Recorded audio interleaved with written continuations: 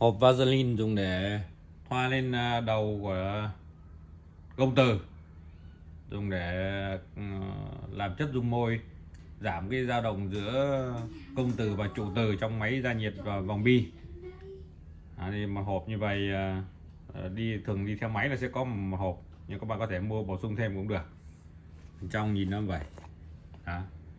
À, sức giống như kiểu sức kem chống nắng vậy đó.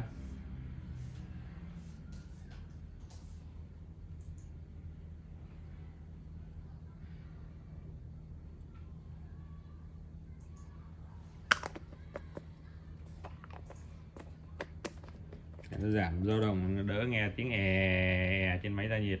Mà e tiếng e của nó sẽ là 100 Hz